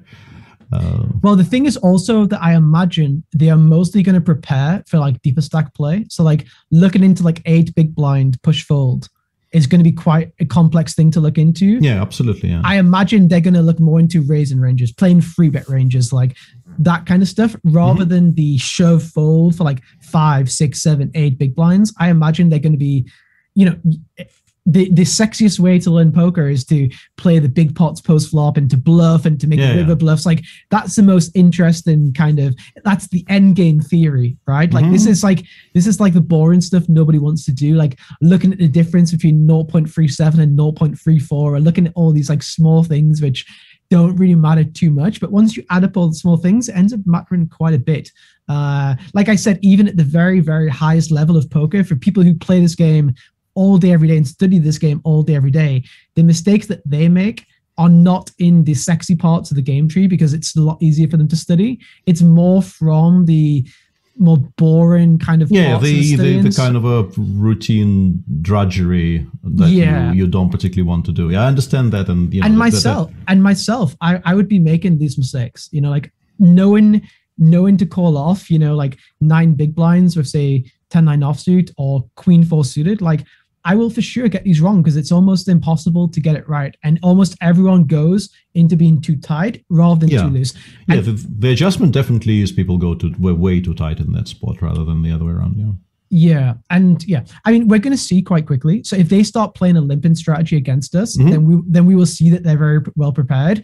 I just don't expect it to happen. I just expect them to to play very aggressive uh, with their opens, and it's just a simple way to play. It's the way that people mostly play. Mm-hmm. Um, and they're also probably going to expect us to play too tight. So it's probably correct for them to play lots of raises, right? Because they're not going to expect us to start just like doing lots of shoving for loads of big blinds all the time. They probably expect us to play. If they're trying to exploit us in any way, they're going to imagine that we're playing too tight. So if they're looking at the same information, mm-hmm. they're going to probably say, "Oh, Peter and Pads are going to call too tight for nine big blinds, eleven big blinds, etc." So their assumptions are probably going to be in a similar direction to what our assumptions are going to be. I imagine. Yeah, very likely. Yeah, um, that, that sounds logical. Let's just go quickly into post flop because obviously sure, yeah. pre flop is the most important because we're not going to see many flops when it's 20 big blinds deep, eight big blinds deep. There's going to be so much shoving. We're not going to see mm-hmm. too many flops, but it's slightly deeper stack sizes. We're going to see some flops. So this is 40 big blinds deep. So um, in poker, there's different kind of board textures. So You can see the different kind of board textures you can have. You can either have a paired board, mm-hmm. you can have a monotone board, you can have a disconnected board like a, a 952, mm-hmm. you can have a connected board like a 786 kind of board. You can have an A side board, obviously. You can have a Broadway kind of board. Um, let's just look at one type uh, mm-hmm. where you where maybe you have some kind of doubts. Just just name a name, name a board texture and we can look into it. Uh, out of this, uh, let's go with uh, high disconnected. High disconnected. Okay. So high disconnected boards are going. This is a very common board texture as well. So uh, this is going to be a board like Queen seven six, Jack five four. So the high card isn't connected to the middle part of the board. Mm-hmm. Um, so first of all, let's see. First of all, is there going to be any all in? So all in would be we would be betting like uh, six x the pot. So let's just have a look. First of all, does this ever happen? Uh, no, it never happens. So straight away, we can just remove this from the game tree. So I can just press hide. Perfect. Is there going to be any really, really, really big betting? So betting 2x the pot. Is this ever going to happen? Let's have a look. Very like, very likely not. You can see here, no, it never happens. So we can hide this. So straight away, we've taken away a bunch of the potential game tree, which is nice. Okay, is there going to be any pot size betting, any huge betting going on on the flop? We can see not really. So straight away, this is- These are percentages or? This is how often it happens. So if you take, for example, Queen 7 6, mm-hmm. we can see we bet 50% of the time, we check 50% of the time. Uh, we bet small 12% of the time, we bet biggish 25%, and we bet pot 100% mm-hmm. of the time. But you can see that there's basically no boards here which are betting pot size. Like there's a few which happen 10% of the time, but most of them are happening basically zero. So but basically what I'm trying to explain here is that we are basically going to never bet really big. I've basically mm-hmm. taken out that part of the game tree. So all we're going to be doing is either betting small or betting 30% of the pot or betting 60% of the pot, essentially. So uh, let's have a look. Is there any boards where we bet very often for the small size? And you can see there are. So now let's like let's try to find some similarities between the boards where we bet for a small size because you can see all of these boards are never betting big and they're only betting small. Does that make sense? Like this column, mm-hmm. this yeah. column, this column here, there will be some boards where it's betting big and not betting small. But when we filter only for small bets, we can see that this this uh big bet is never happening. We're only betting small. So kind of the board textures we're looking at are going to be king 8 free, king 8 free, king free 2, king free 2. Yeah, I was going to say most of them are uh, uh, rainbow, but they aren't. No. Uh, yeah, a lot of them actually are uh, showing a flush draw there. So, so why do you think on why do you think it's very dominated around king X as being the high card? Why do you think king X is a very dominating strategy here?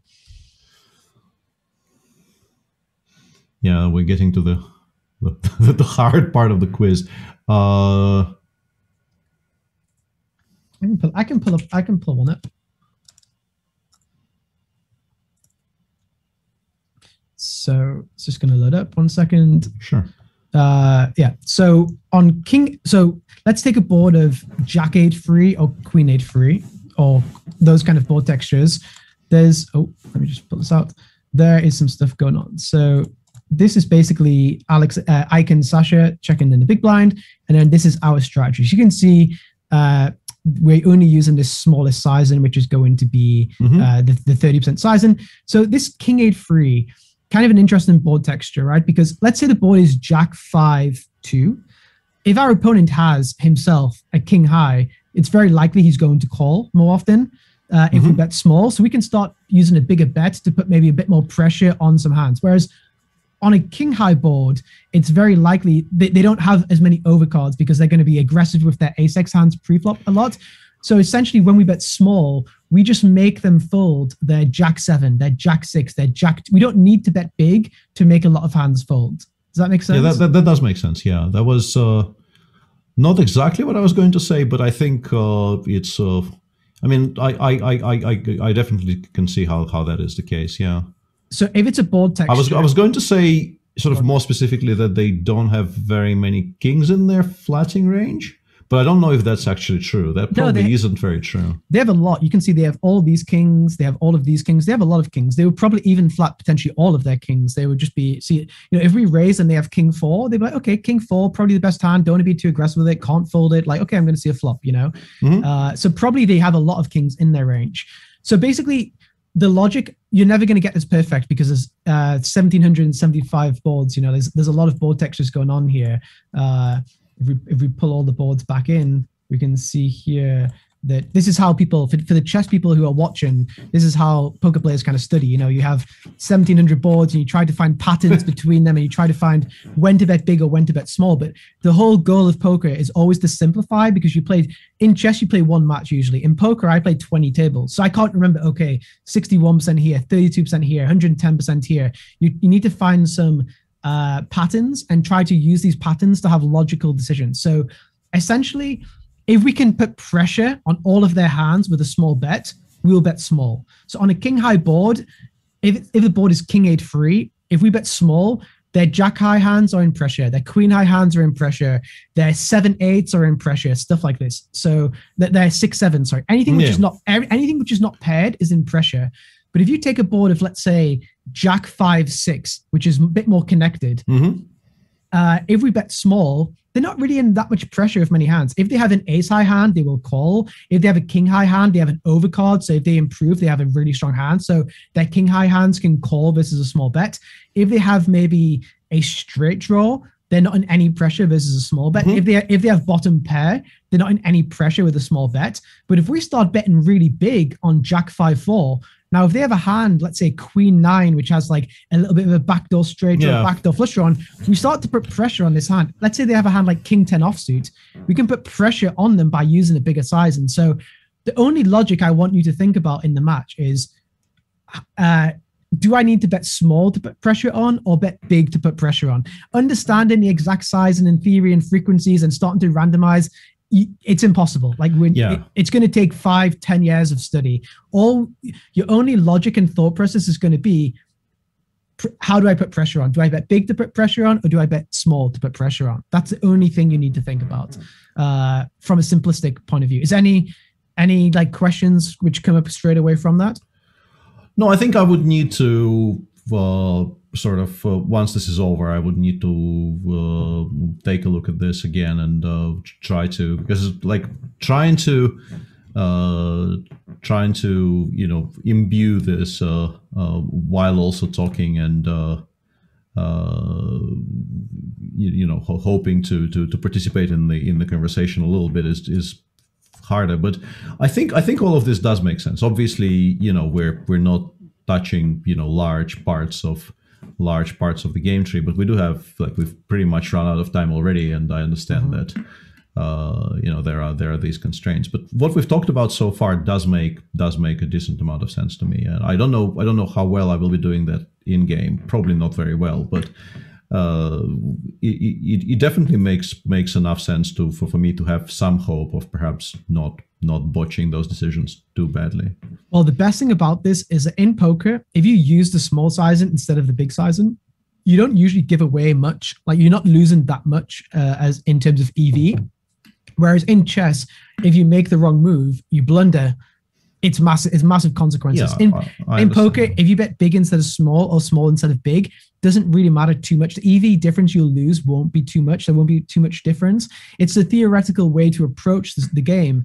But in general, if you just decided, okay, I'm always just going to bet small no matter what on the flop, we, we would not lose too much difference. Yeah, It- sure. So this is what I was going to move on to that if it's never a board where you think, okay, I want to bet really big, just always fall back into the safety blanket of just betting small. If you bet small, it will with any hand Uh, in any spot. it just will just one just one question before before we continue with this like what's the what's the check back percentage in general like are we playing like a 90% c bet frequency or Cool. So yeah, we can we can look into this. Uh, we can look into this. One second. Actually, it won't show us here. Uh, in in general, we're going to be c betting around about seventy five percent of the time and checking around about twenty five percent. So typically, the reason why you would check would be a board texture. Like let's say the board is Ace King Five. Okay. Mhm. So let's say the board is Ace King Five. What is a hand which you may not want to bet on Ace King Five? What's a natural hand to check on Ace King Five? um i'm guessing i don't know like i would say i probably want to check all of the gutters um i ace king 5 rainbow ace king 5 Just Ace King Five, Ace King Five, whatever yeah like it doesn't Yeah. matter Ace uh, King.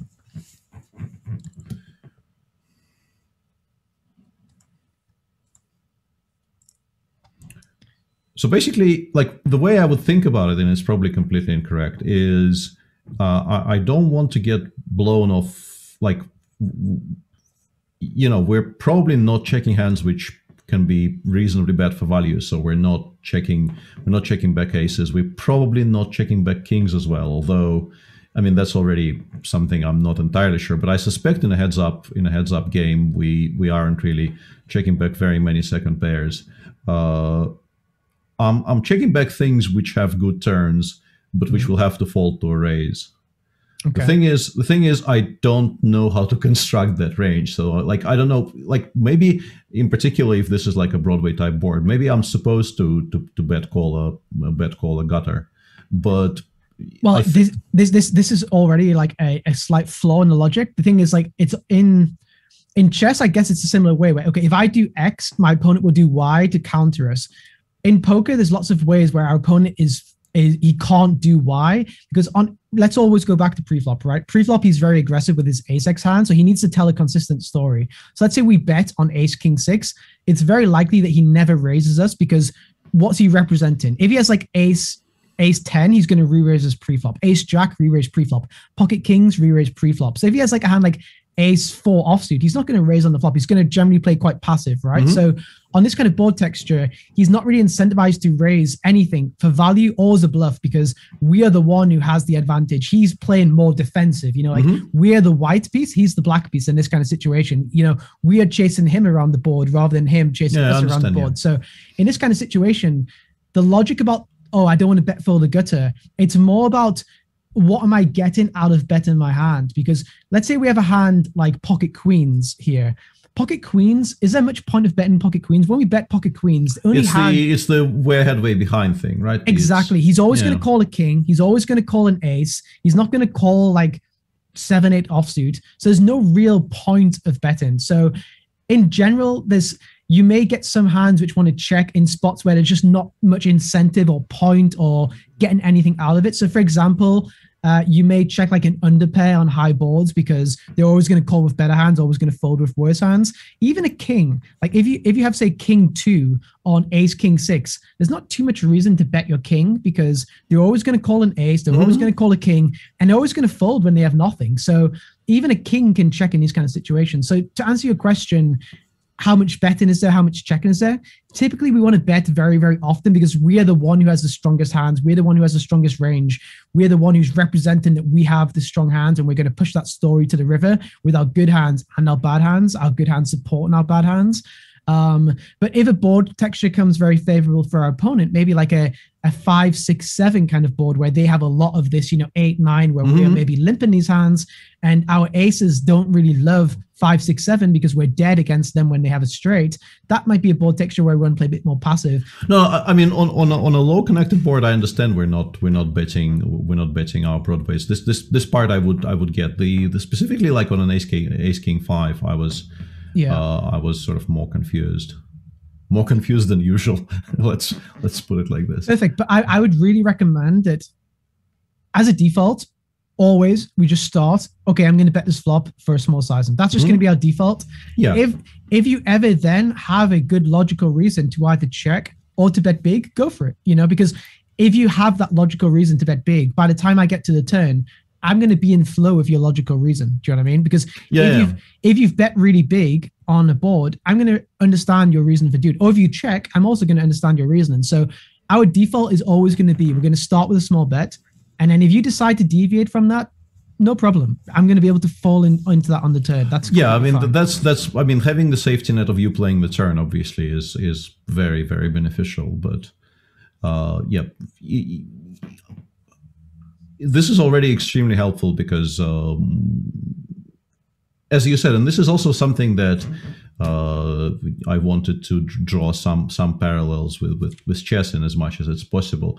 Uh, what you said about uh, not just working with solvers, but uh, trying to sort of understand why the solver is telling you what it's telling you, so that you can implement it in game when you are in a situation where there's like no way no way you can actually remember what it says uh, Mhm. precisely and you know you you are you know multi mass multi-tabling and don't Mhm. really have uh, time to go for like pre- precise recollection anyway this is this is something that i feel you know uh, very much familiar with because uh, a lot of a lot of our work is these days a work with uh, with engines Mhm. which is you know as, as as close to a solver as it can be as it can it, it's very much once again uh, machines telling you what the right line is.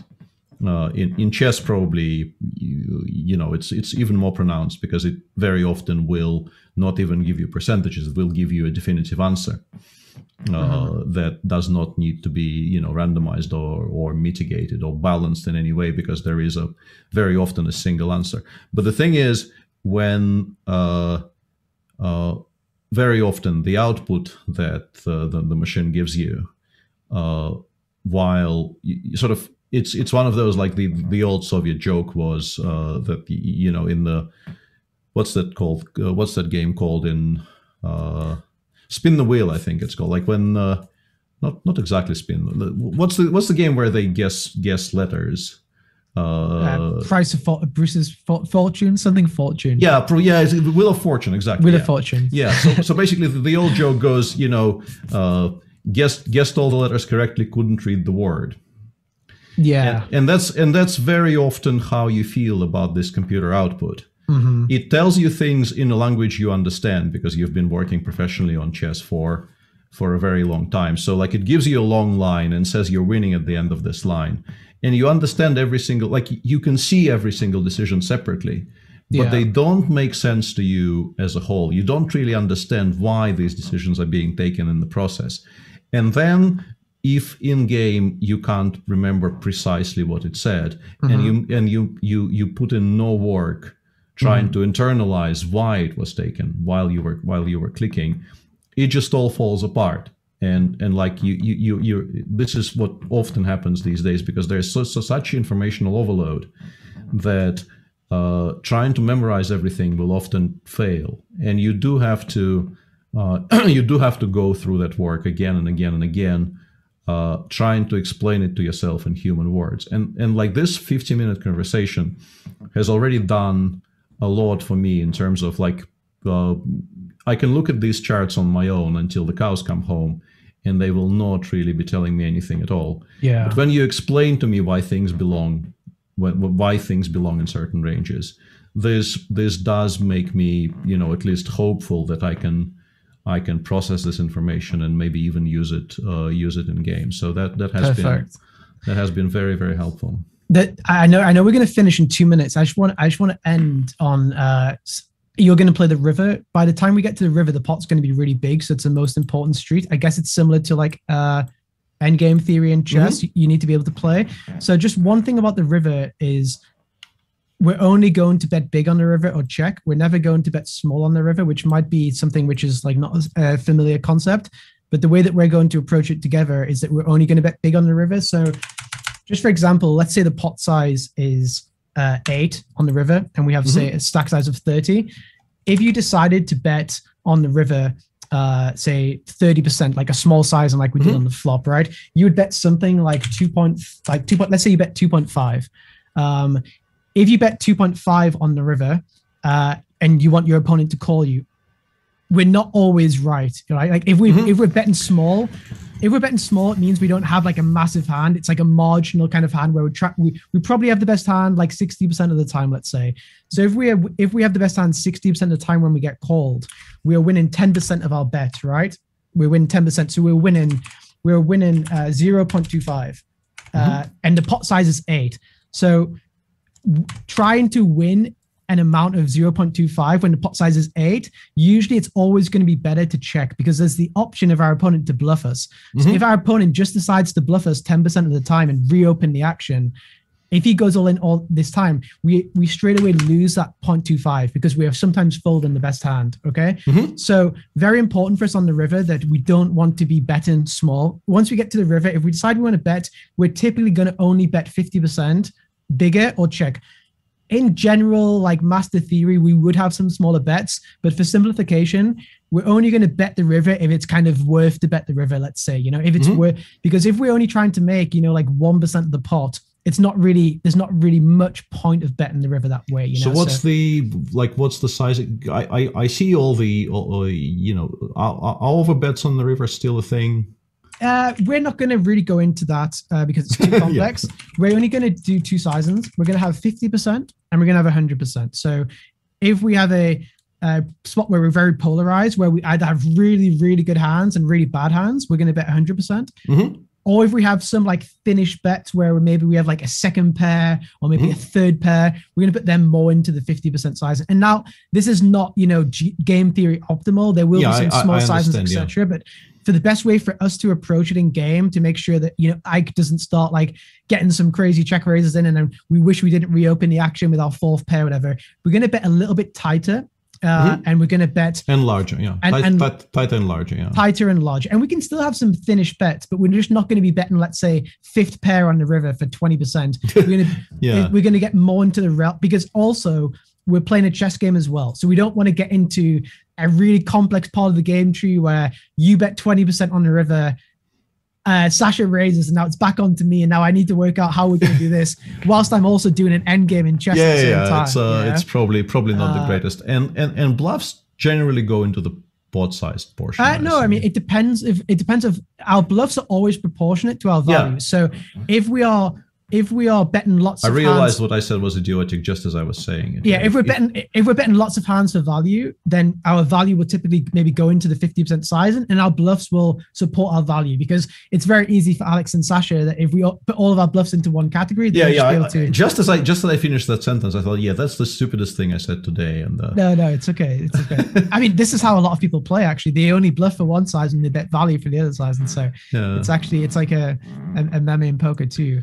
But yeah, I think I think we have a quite simplistic approach, but a simplified approach, which I think is important. You know, pre-flop we've yeah, got de- definitely. Yeah. pre-flop. I think we have a logical, simplified approach, which should be quite easy for us to implement. Flop, we're going to go with the small bet always, unless you have a a reason that you really want to bet big or you want to check, which is fine. Mhm. Uh, turns, I should I should hopefully have under control. Then on the river, we're not going to have like four different bet sizes. We're only going to bet big, or we're going to bet you know medium size. So, I think from poker, we, I think we, I think we're I think we're going to do okay. You know, like I don't Yeah, mind. we'll, we'll we'll see. I mean, if- probably probably not, but uh, I, I feel I feel more confident than I than I had I had uh, felt before before this call. So that's that's already an improvement because Yeah, and we're we're we're obviously going to finish now. If you have any questions offline, obviously you're going to write to me. And uh, yeah, I, I I probably might might bug you a little bit. No, of course, once once this is over. Yeah, so for the for the people watching now, uh, do we know the time on Friday? I think it's seven